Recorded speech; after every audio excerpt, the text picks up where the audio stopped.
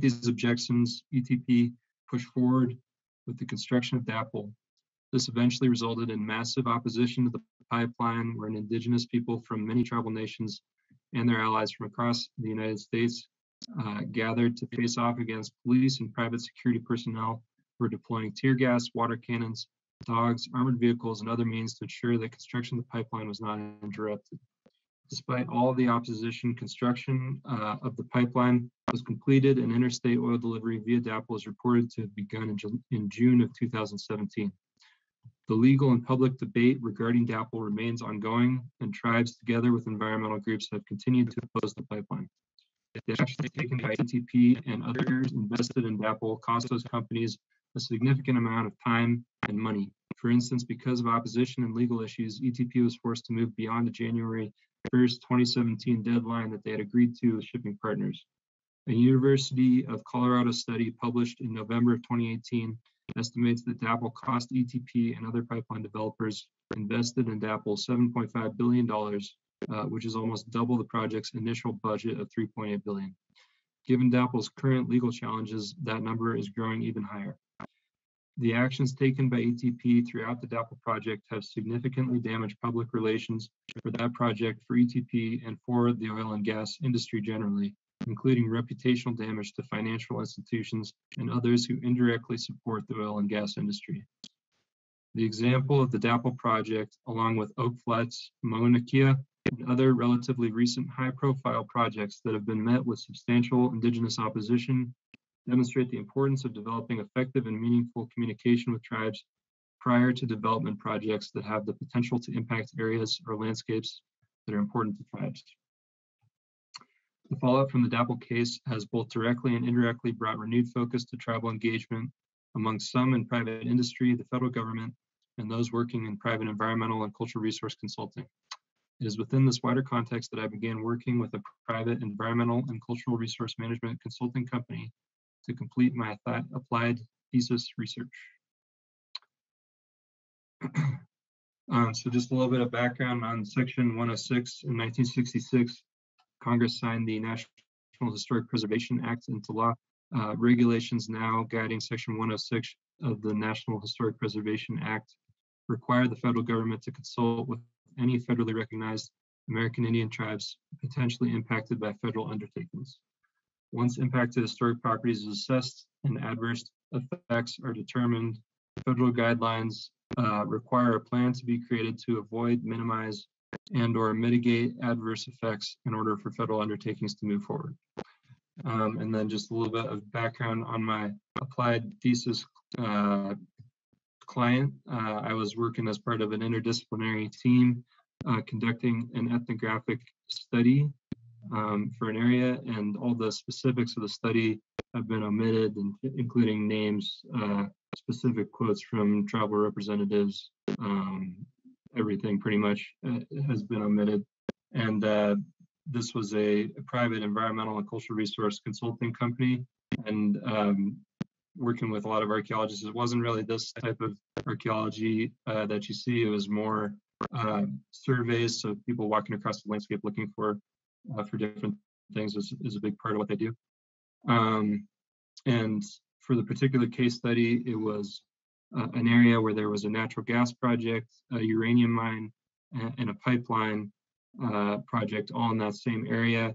And through those projects and the review around those projects, the BLM recognized the area as a traditional cultural landscape and began treating it as such and hired uh, the firm that I that I helped with to um, help identify and evaluate traditional cultural properties and uh, do an ethnographic study in collaboration with uh, tribal representatives. So my research questions for my thesis were how might the information derived from the case study inform general strategies that could be implemented to improve engagement, consultation, and collaboration among tribes governments and agencies, uh, and environmental and cultural resource consultants, and private industry developers.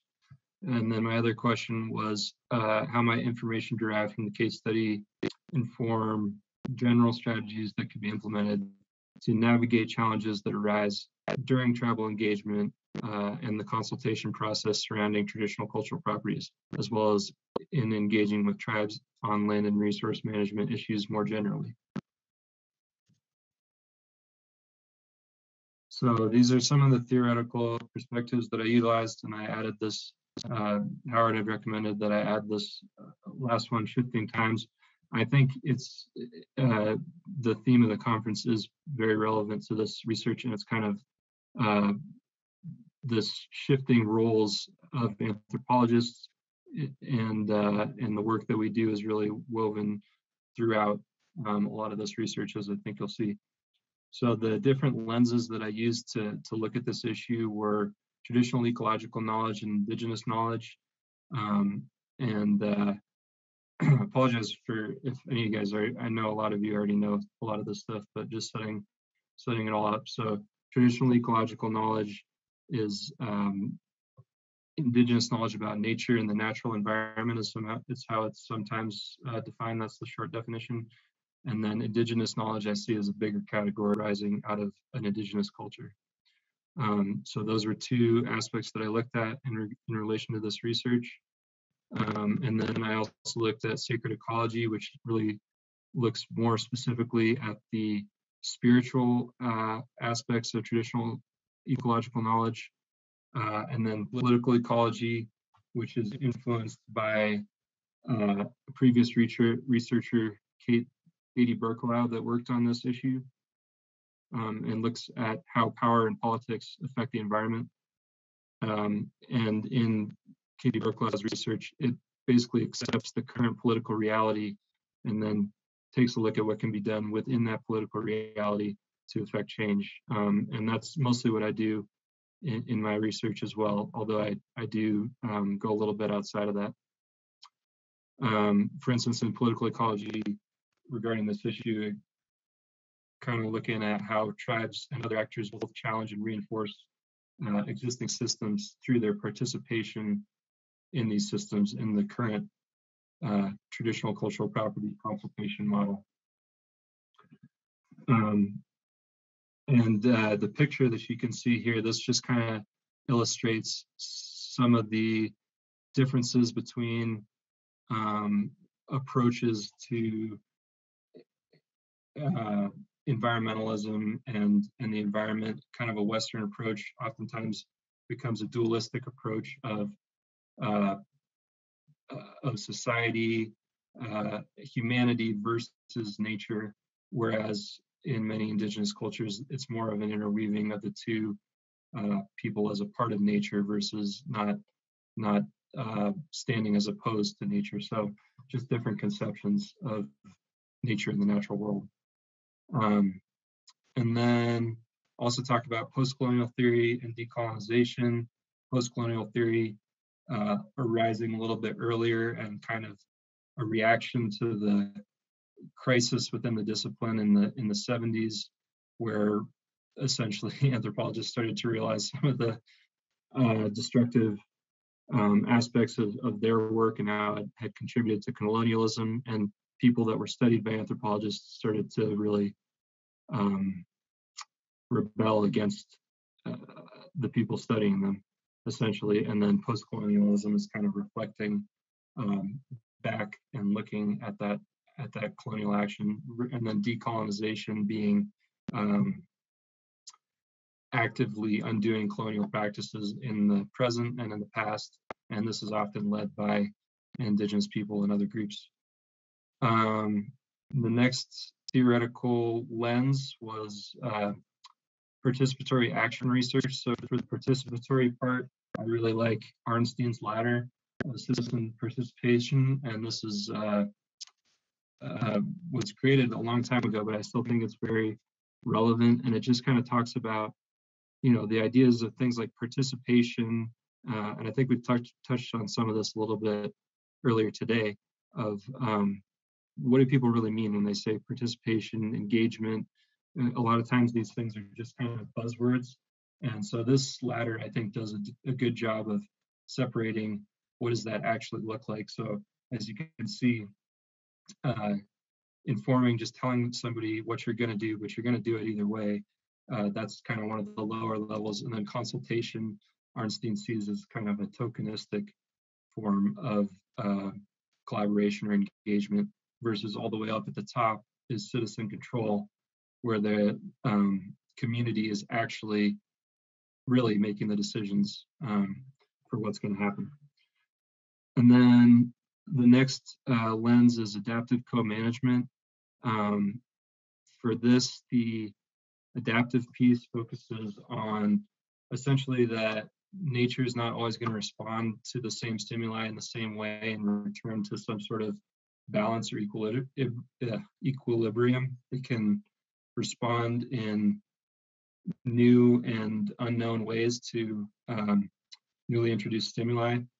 And so an adaptive co-management model um, in the ideal sense focuses on partnering with, in this case, indigenous peoples due to their resiliency in navigating a changing landscape over time and being able to uh, thrive during uh, throughout those different changes. And then the co-management piece again refers back to uh, Arnstein's ladder. Oh, and for sorry, I skipped part of the action research. So that's the participatory part of participatory action research. And then the other part is um, action research, just like applied research, applied anthropology, pragmatic, practical, looking for results for communities. It focuses on things like democratization, uh, decolonization, liberation, and sort of an iterative cycle of looking, thinking, uh, and taking action and then reflecting on that action. Um, and it values community leadership. Okay, so uh, next I'm going to get into some of the travel perspectives from my research. So I got to get to another screen here. Let me see. I got to stop sharing. Do this.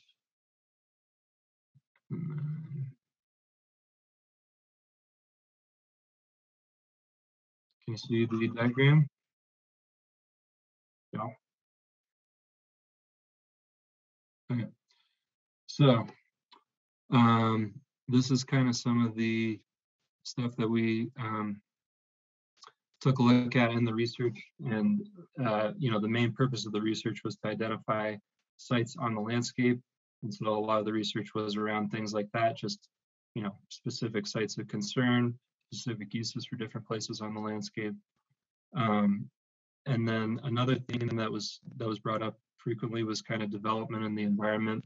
Some of the negative impacts of uh, previous development projects were things that um, uh, representatives discussed. Um, and uh, also the fact that the cumulative effects of development often were not taken into uh, account. Projects are kind of just looked at on a specific project by project basis, and there's not a lot of thought put into if 10 projects go into this area, what's the overall cumulative impact? Um, and then uh, I'm not going to go through all these because we don't have time, but uh, in the trust and disclosure uh, theme group, there were a lot of uh, discussion about sort of mistrust of the federal government um, due to a lot of the past colonial actions of the government and, and also present actions. Um, and there was discussion of uh, the legal and political arena. So basically, tribes being apprehensive about divulging information or coming to any agreements with, um, you know, staff on the ground at, at the Bureau of Land Management. Uh, because they understood that those decisions could be overturned by those higher up in government uh, or those with more political power. So, um, and then also discussions of only disclosing information when it's necessary uh, to protect an area and not really necessarily wanting to just talk about things just to have it out there. Um, and then we get down to barriers to collaboration and mutual understanding. Um, one of, and I used uh, Kathleen uh, Pickering Pickering's book on this to to identify a lot of the barriers of different areas. A big one that tribal representatives discussed was um, spatial and temporal boundaries, just different conceptions of what uh, what a place is. You know, Western thought sometimes likes to carve um, areas up in, into different, um, easily packaged and managed locales. Uh, but in uh, indigenous conceptions, sometimes it could be not just a particular site like that, the medicine wheel that was on the first slide, it could be that medicine wheel and its connection to the surrounding landscape. So just a lot of barriers around those different conceptions of what makes up a place uh, were things that came up. And then, uh, you know, a big one was just that tribal input is not sufficiently incorporated into uh, resource management was something that, that came up uh, throughout our conversations. Um, then as far as participation and engagement, a big one there was just the need for um, increased federal participation in the process. The BLM only participated in one of the um, site visits for this project, and that was kind of an indicator to some of the representatives that maybe this project wasn't too much of a priority for them. Um, and then another big one here was the importance of feeling or experiencing traditional cultural properties. So um, in many instances, people at the BLM or other agencies making decisions, important decisions that affect these places don't actually ever go out and uh, feel or experience those places themselves. So that was something that tribal representatives brought up uh, as being really important. And then um, uh, in this tribal knowledge and way of, ways of knowing, a lot of this was just coding um, tribal expertise and expertise in a way that somebody that's an archaeologist uh, or an anthropologist coming in and just looking at these um, places themselves wouldn't wouldn't be able to discern without uh, that tribal knowledge. So just valuing that tribal knowledge, uh, and then also in here, uh, one that I think is important is the recognition of traditional uh, names of places, and this get back gets back to um, kind of like the Sapir-Whorf hypothesis and and how you talk about a place or how you you speak about a place interacts uh, your uh, influences your experience of that place. Um, and then these all kind of filter down into tribal resource management recommendations. So um, a lot of these had to do with direct tribal involvement in survey, survey and resource management, um, meaning tribal members actually going out and looking at the places uh, alongside archaeologists or before or instead of archaeologists uh, going out and, and, looking at these places on the landscape. Uh, another big one that came up was just the need for regular meetings uh, when these sorts of studies happen in an ad hoc basis. There's so many projects across the United States it could be difficult for um, tribal representatives to give sufficient um, energy and focus to to each of the projects. Uh, whereas if they're all kind of discussed at one time at regular intervals, it's, it's a lot easier to plan. So that was that was one thing that some of the tribal representatives mentioned. All right, I'm going to go back to the presentation now. Um, one sec.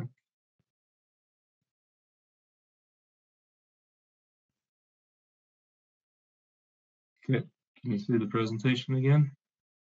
Yeah. Um, so and again, I'm not going to go through all these because there's not time, but I'm just going to touch on a few of them. Uh, and this kind of goes into that, again, shifting time, shifting roles sorts of things.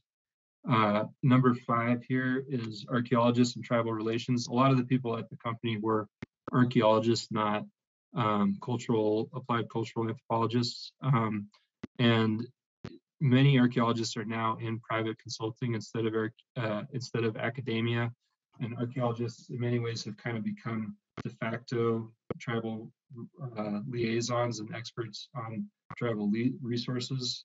Uh, and this has resulted in a lot of uh, adversarial um, relationships in the past due to essentially things like archaeologists saying, uh, you know, this is this site doesn't relate to your culture or something like that based on on their methods versus uh, maybe a way a tribe is thinking about a particular place.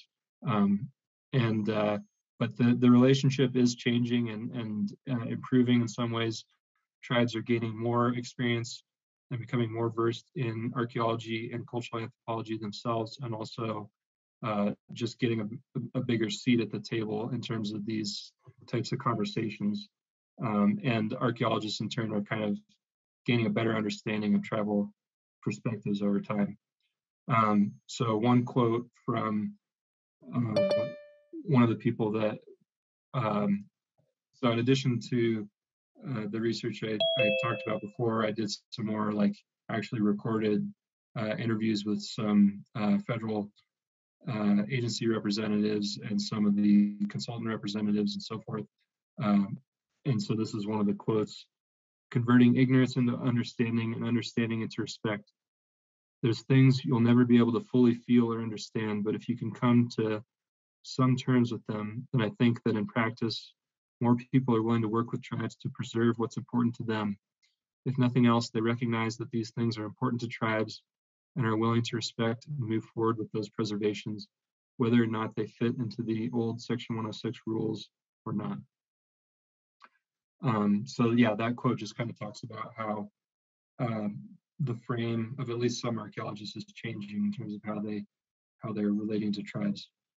Um, and then uh, some other interesting things that came out were just looking at the uh, number seven, looking at the order of events and uh, disconnection of indigenous people from the landscape. Um, basically, through the research, everyone agreed that bringing tribes into the process earlier was important. Sometimes tribes are not brought in until uh, you know decisions for the site are mostly already made, uh, and um, there's uh, limited influence that that tribal tribes are able to have through that consultation. So many people agreed that bringing tribes into the process earlier uh, was an important aspect. And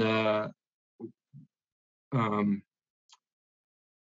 one of the issues is that archaeologists are, are, sometimes approved to survey the landscape before anything else happens really and then the project ends up building momentum and uh, tribes you know don't get a chance to they kind of just have to take the archaeologist's word for it that yes, this these are all the things on the landscape, and um, you know they don't, they don't get to really review that information themselves. Um, but uh, you know, and then the other thing is that tribes are kind of asked or just told to say like, well, tell us everything that you know that is here on the landscape, and that's really not a fair standard for a number of reasons. One is it's not it's not fair to assume that um, you know all tribal members necessarily know everything uh, related to their culture that's out there on the landscape. And if you think about comparisons to any other culture, that's not a fair standard to have. Even that um, tribal elders or tribal experts are going to necessarily know that, um, especially due to the you know actions of the government, uh, relocation, and forced disconnection from the landscape that many uh, tribes have endured. Um, the the process of of um, surveying the landscape can be a process of reconnection uh, for tribal um, members representatives that may have been disconnected from those areas. Um, so just kind of changing the perceptions of of when tribal input should be um, valued there. And then another thing that came out was around the uh, prioritization of nature versus sacred or culturally important sites. Um, this was a quote from from one of the people I interviewed, talking about kind of the ways that the laws around protecting protecting traditional cultural properties uh, are not uh, strong enough to really protect those places. So talking about the San Francisco Peaks, one interviewee said, "You can't protect it as a TCP but you can protect it under the Endangered Species Act because of the nitrogen that was being added to the mountain, which was reducing habitat for protected species. So this is a situation where you can use legislation that is guided to protect plants, to protect things that legislation designed to protect people and their concerns isn't strong enough for. That kind of makes you reflect on the values we assign this whole TCP thing. If a plant has more sway than the people, it makes you wonder if that's the right if the TCP language is is the way, right way of managing it and, and, has enough power behind it, or if it's just kind of like acknowledging that there's a concern but not really doing a whole lot about it. Um, let's see, I have a few more here. Uh, one that I, I thought was important to, let me see how much time I got. Ah, it's already 2.30. Okay. um, one that I think that's important for this conference is, is looking at just kind of the role of ethnography and tribal relations. And, you know, this project was an opportunity to reflect on that. Um, in, in many cases, these projects go to an elite group of archaeologists and cultural anthropologists. Um, and the other thing that came out is essentially tribes have the capacity to to be their own ethnographers and do these projects themselves in many cases. So it just kind of brings up the issue of what exactly is the role of the anthropologist or the um, ethnographer uh, in these types of projects? Are they acting as a filter that doesn't necessarily need to be there in some cases? Um, so that's an important question, I think. Um, but then the other thing is about what I said before about kind of archaeologists becoming the de facto point person in these types of projects. And uh, I think it's important that cultural anthropology and applied anthropologists that aren't archaeologists really um, make sure that we're digging in and getting involved in this type of work. I think it's it's difficult uh, work because it's it can be kind of messy and uh, you know ethically hard to navigate, I guess. Um, but kind of just not engaging in it, um, you know, means that others are I, I, think this is an area where where anthropologists could add value. Um, so I think it's important that we continue to do that. Uh, all right, I'm just going to do a couple more to wrap up.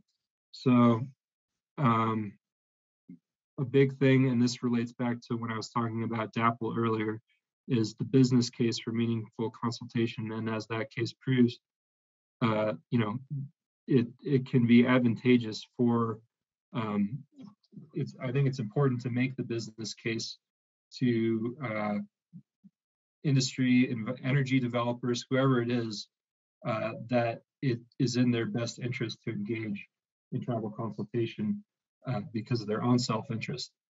And while there's not always an opportunity for a win-win scenario between developers and tribes, um, it is in the best interest of developers to involve tribes. Uh, and a way to frame it is just lowering their risk, essentially. Uh, also for financiers, aversion to risk among financiers of developers, along with thoughts about co corporate social responsibility can encourage more of these types of studies to be um, done in the future. So consultants, uh, like the consultant that I was working for, they can have a substantial impact uh, on projects and the damage that they do to natural and cultural resources. But anything that they do is limited. It must be essentially a win-win for their client and and uh, and tribes. So you know they can't say if they were a consultant on DAPL or whatever, they couldn't be like, well, don't build DAPL because the the client isn't gonna it's not going to change anything. They'll just fire that consultant and hire another consultant. But they could, for instance, through doing this type of study, say, hey, you really shouldn't build it right here. That's going to cause you a lot of problems. We suggest going over here. So things like that. Um, and then uh, the next one is on the ethics of harm reduction consultation. Uh, so tribal consultation ultimately results in projects moving forward. Uh, wholesale opposition development in many cases is not effective and projects move forward regardless. Therefore, there's an ethical responsibility to ensure that projects that do move forward do so, do so in the least damaging way possible. Um, both work inside and outside the system will lead to a more sustainable future.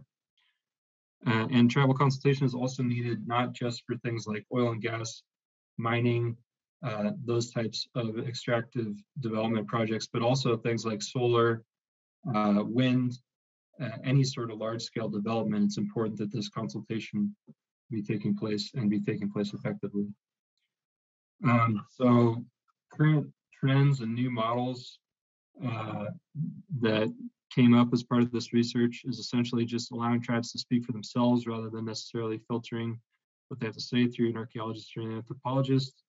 Um, federal governments and other agents, uh, entities engaging with tribes, not just when there's a legal requirement to do so, but just forming those relationships uh, outside of a government to government consultation. And um, another one was having tribes deploy their own survey surveyors alongside archaeologists and having two surveys be done for different purposes the archaeological survey um, for kind of scientific uh, purposes, archaeological purposes, and then a tribal survey of things, uh, essentially a survey of what's valuable and important to tribes.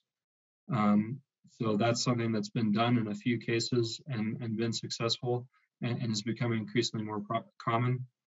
Um, and uh, another one is just not kind of limiting.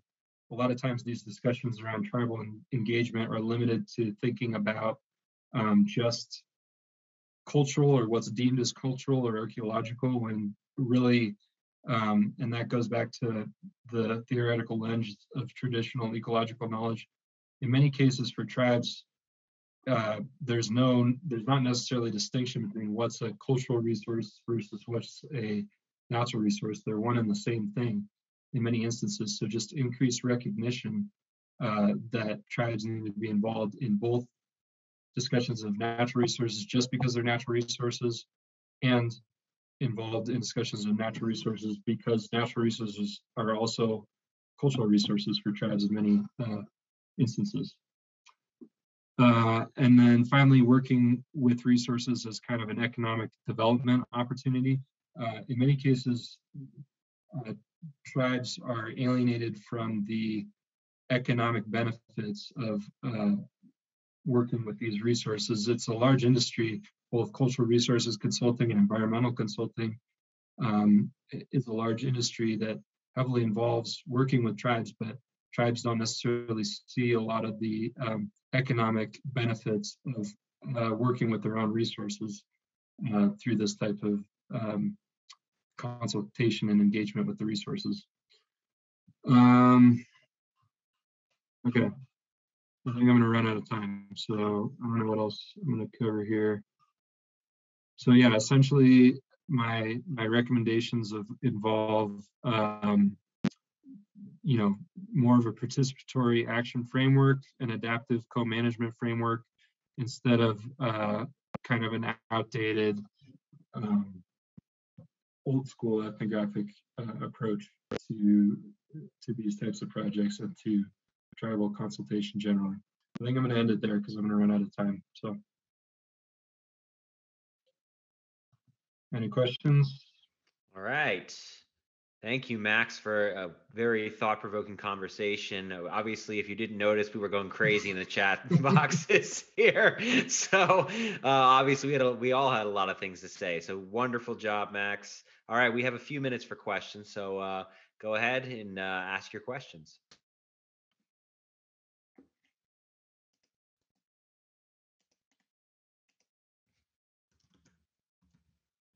I guess I had one thing that kind of came to mind when you were talking about, you know, that expectation for tribal members to not only be experts on kind of all of the ecological life, but there's also that question of is it safe to share that with every researcher or government contractor that comes in? Like, you know, you might know, but maybe you shouldn't say.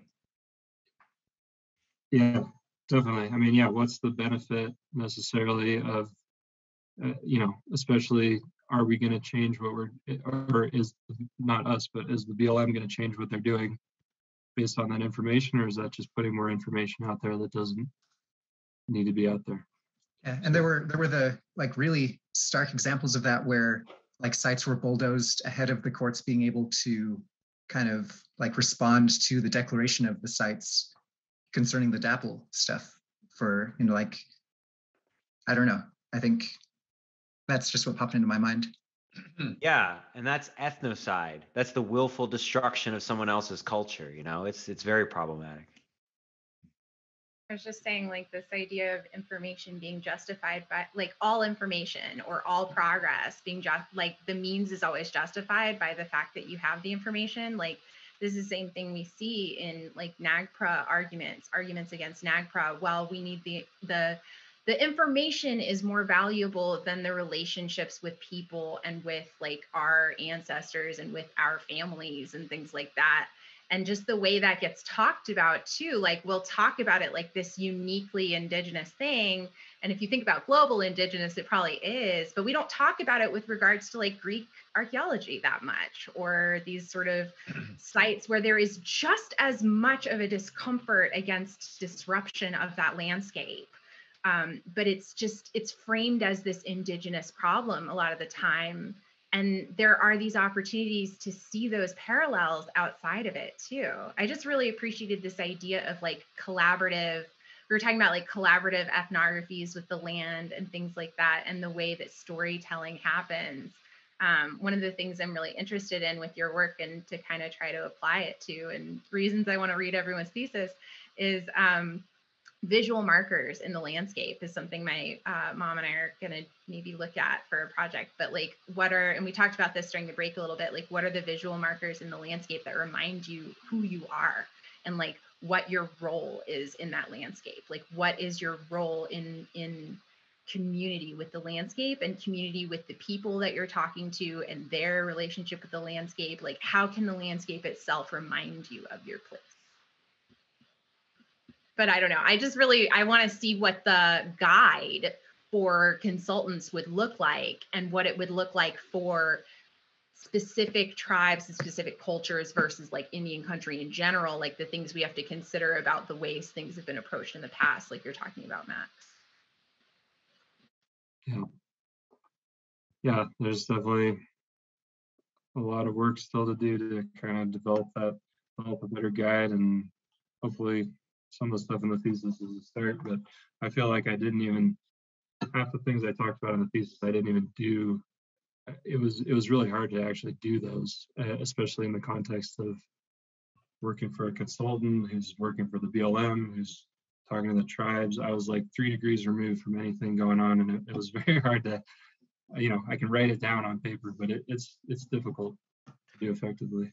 Well, no one wants to pay for it, right? Because doing all these additional stuff takes time and money. And especially when you're talking about a for profit company, the motivation is not, it's not to adequately address the needs of all participants in the study. It's to check the box to make sure we don't get sued. That's that's a very different kind of motivational tool, right? Which at least we have that, which we didn't used to have. But so it's a, like a step in the right direction, but it's not even close to what needs to happen.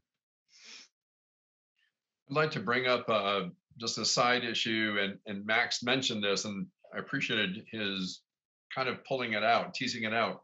And that is, um, I've been listening here in Colorado and a couple of other parts of the world.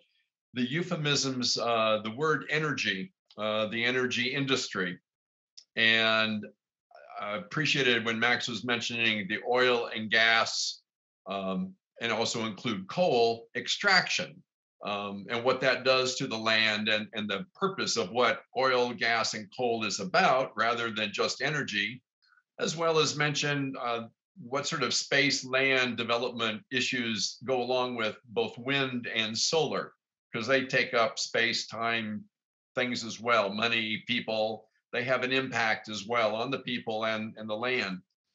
But again, this this issue I have about um, uh, just including the the oil and gas and uh, coal companies in this nice easy word calling the energy uh, industry and um, it, it, sure makes things uh, it's like the sugar makes the medicine go down a lot easier um, and and so anyway that's given that what we're dealing with, that's just one of those little words that I, I keep wanting to uh, help people maybe consider if it's appropriate at the time use the term oil and gas and coal or whatever the topic is rather than just kind of say the nice euphemistic word energy and uh, like we see on our advertisements on TV and the, it just slides right by and everybody gets so used to it and it feels like a good thing and um, nobody really knows what the hell energy really is. They just, if they flip on the light switch, it better go on. So, um,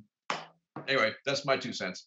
It's like that disconnect we were talking about with food production earlier, right? We have this, this disconnect from energy production. So much of our culture is disconnected from the, the production cycle, from who is actually doing the tasks and chores and and creating the new spheres of information and all that stuff. And we just consume, uh, and we don't think about that. We don't understand the costs of all these things.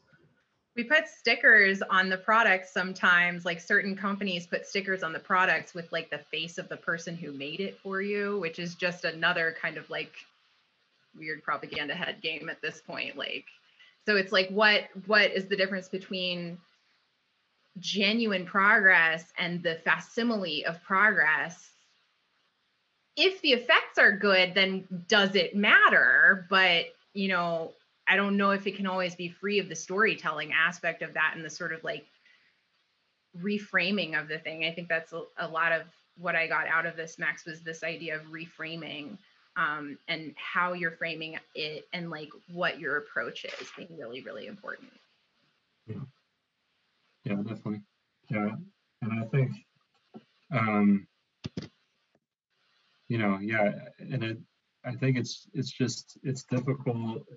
I, it, I mean, it was hard for me to engage in this subject. I think it's just, um, you know, yeah, because it's just so ethically messy, and it's and it's, uh, you know, yeah, what terms I start saying, I start saying things the way people I'm working with start saying them, which is like say energy, and then I started saying energy instead of like you were saying, Ted, just saying oil, gas, you know, because energy sounds more politically correct. Of course, that's that's what a lot of people I was working with say.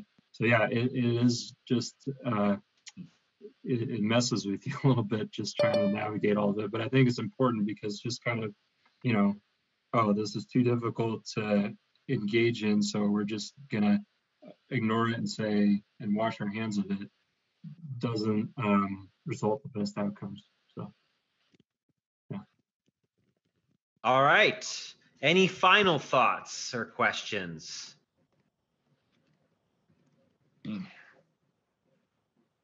Nothing is final. Definitely Just like not in this- this field. Yeah, yeah, we're gonna start stuff, not finalize Yeah. it. Yeah.